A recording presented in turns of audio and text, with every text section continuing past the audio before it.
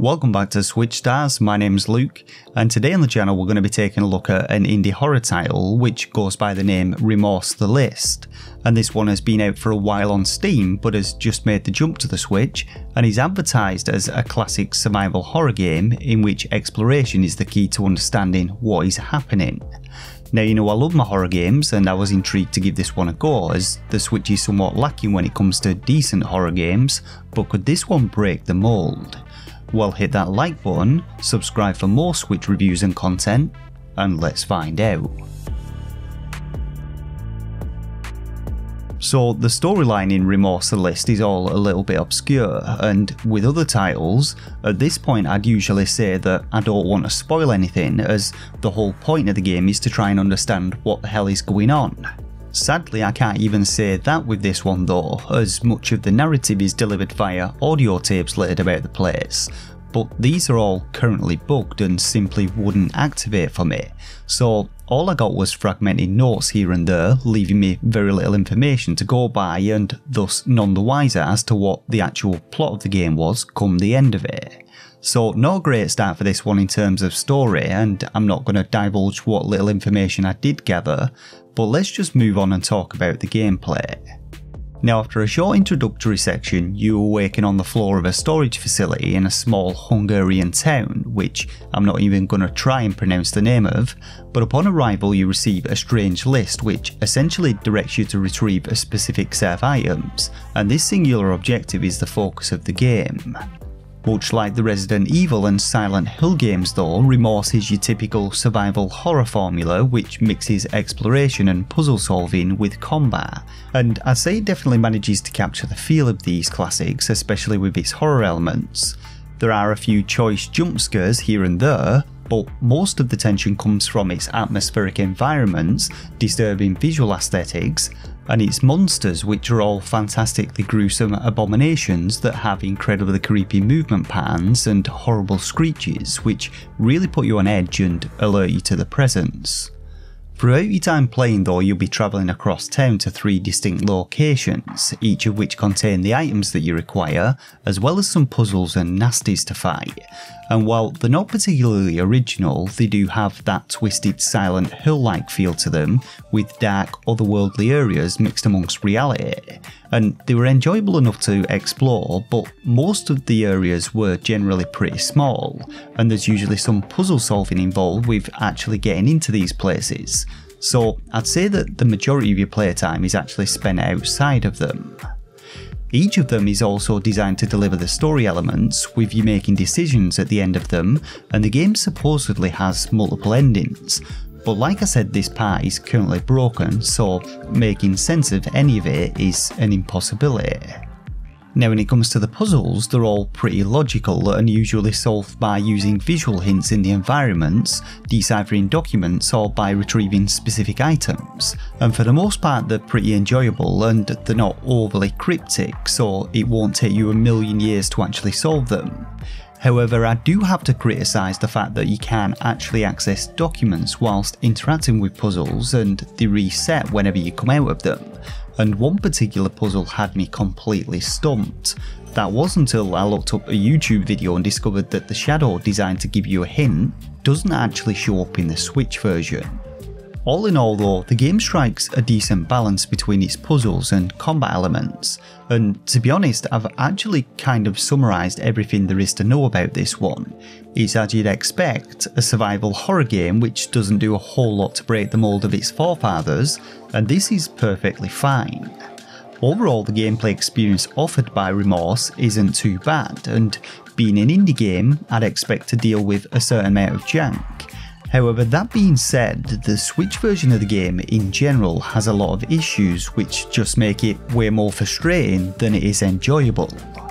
Now, like I said, there's some great atmosphere to this one and some very Silent Hill-esque moments where you're transported to twisted versions of the world, which are all pretty disturbing and add some nice variety. However, a couple of these feature some unnecessary and frustrating jumping puzzles, and others which are looking to deliver story elements are interrupted by enemies, which I kind of felt took away from the atmosphere and delivery of the moment and ruined them a little for me.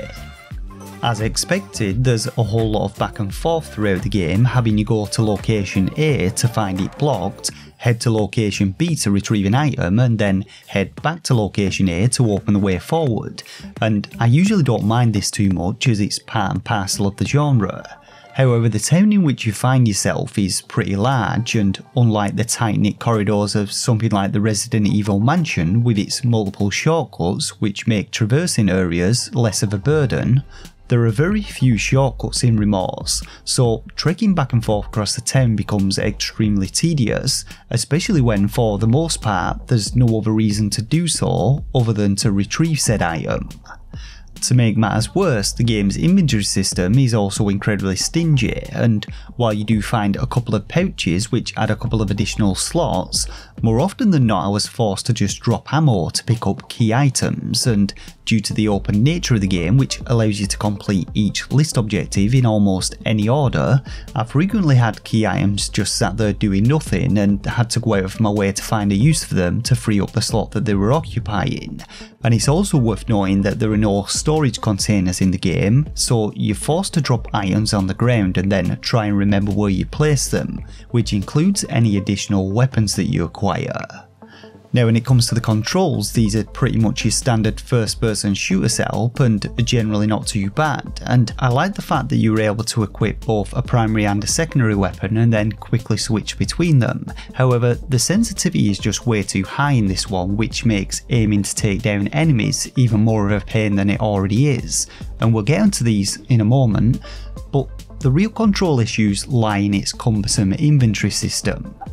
You open it with the plus button but close it with the A button. It has you pressing the L button to move items around which are then used with the B button, but this only actually applies to key items, and in order to use things like medkits, you must first move them to your secondary slot before exiting the inventory, switching to them and then activating them, and then you have to go back into the inventory to re-equip your secondary weapon is a complete pain in the ass and makes no sense at all.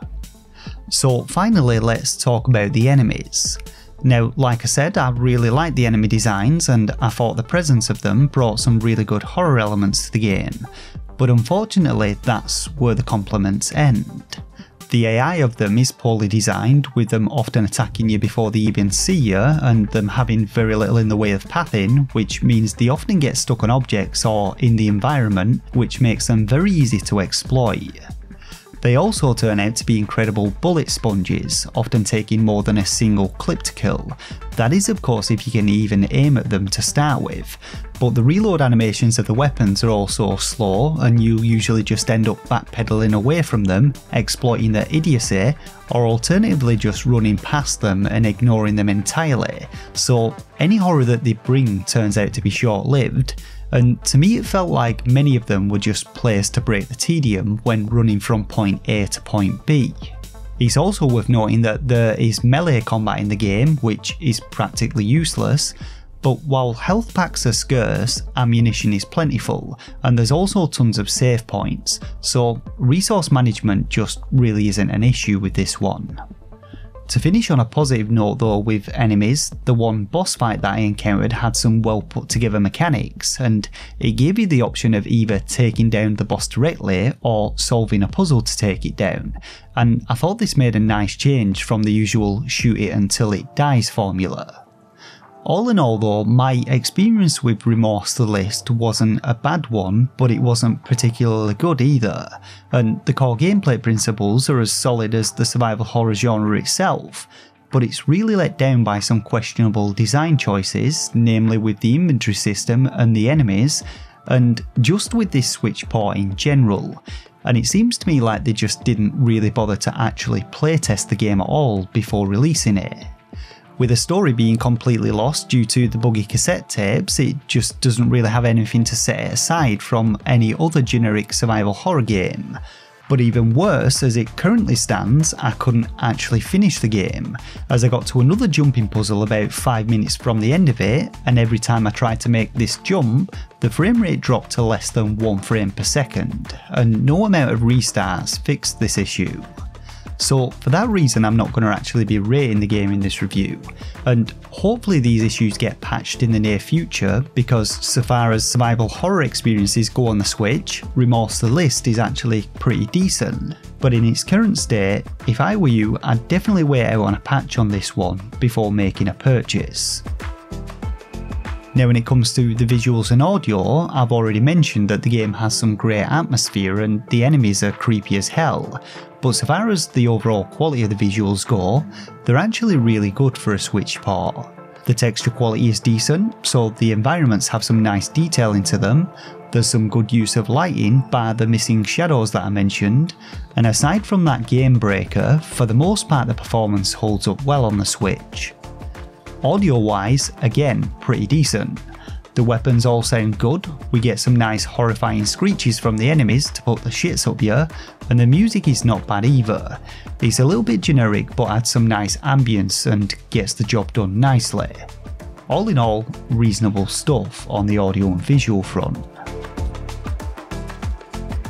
So, in conclusion, then, as it stands, unfortunately, I can't really recommend picking up the Switch port of Remorse the List, as I just don't feel like it does it justice, in my opinion, and you're not really getting the full experience due to the bugs. Sure, the enemies are bullet sponges and the limited inventory system is still going to be a bit of a nightmare, but the game itself has some of that old school jank to it which fans of classic survival horror games will no doubt appreciate, and all in all it could have been pretty decent all things considered. But it's the bugs which completely taint the experience with this one, removing any hopes of understanding its storyline or even finishing the game.